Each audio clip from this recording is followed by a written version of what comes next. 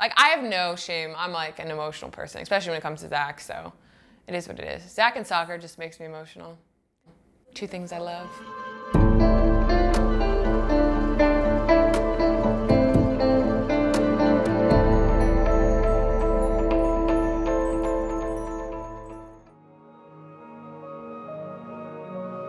The beginning of 2017 wasn't kind of how I maybe pictured it to go. Everyone just wants to be on the field playing and giving whatever they can to the team. It wasn't like it was like a perfect journey throughout that whole year on and off the field.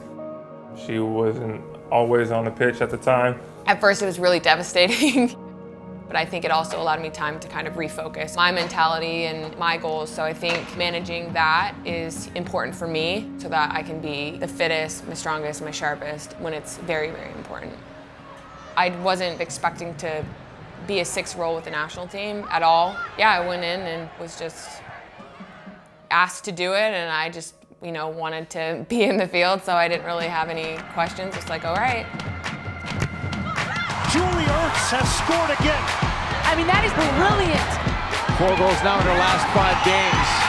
She's been center back for the last two years with the national team, and here's a player as if she's been playing that center midfield position her whole life being a center back and kind of watching the midfielders for so long, and especially such amazing ones like Lauren Holiday and everyone else that has played in the midfield to be able to kind of watch them and learn from them as well. The players around me to help me and communicate and cheer me on and, and all those things definitely helped to learn. But at the end of the day, everyone just wants to be on the field playing and giving whatever they can to the team, and that's kind of just my focus was, you know, whatever I could do to help at the time.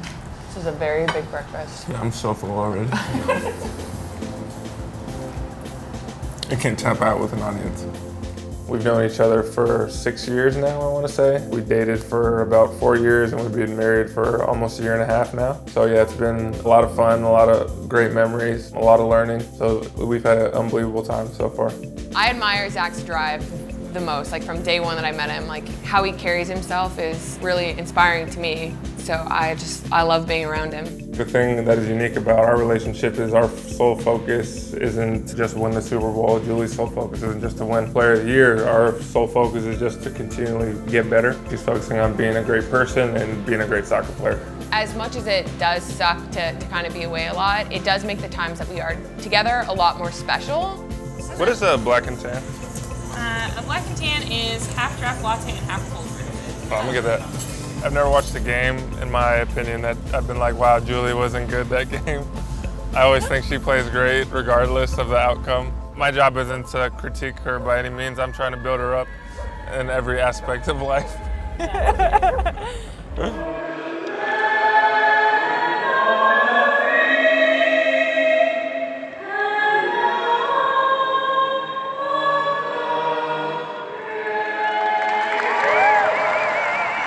Playing the six in the NWSL was definitely helpful. My teammates with the Red Stars just kind of allowing me to figure out what worked for me, the type of player I am. Obviously, I think communication and talking is very helpful for me. I feel like a lot more comfortable on the field the more I'm talking. Handball. Watching the game, you have no control over it. So it's like when you're just a fan in the stands and you're living and dying with each play, and you know that she's going to be either really happy or really upset after the game, uh, yeah, it's a little nerve wracking at times. And so is Sam Kerr. Kerr, one touch into the corner. She's got two. If I was growing up, like playing it from the beginning, I think I'd be like Zlatan probably. I mean, I'm 6'5", he's 6'5", similar personalities. So. no way. You guys competitive? Yeah, disgustingly. Play card games often, and Julie and I will compete, and we have like a little scorebook. It's weird because a lot of those games are, it's not even strategy, it's like luck. Like what cards you happen to get. Here we go. as camp is coming up to kind of start to feel. Um, obviously, my fitness level is definitely coming back. I find it super endearing when people love us as a sports couple, only because like every, you know, up and down that we have in our sports or just in life in general, we do it together. I think if someone obviously is looking at both of us in a, like a positive light or, or likes the way we play or support each other, then I think it's, it's sweet.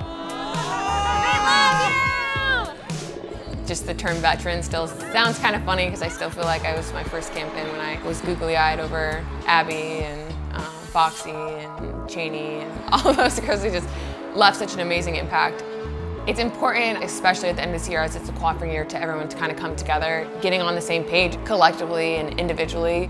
As every year goes by, I think there's so much that I can take from it and learn and continue to grow. I'm nowhere near where I want to be as a player, but I just want to continue to grow and set new goals. From the experience I had from the last thing, it's just you just can't take anything for granted. Be ready to do whatever you need to do for the team is kind of that mindset now because I don't want to look past any game or any moment that I can become a better player.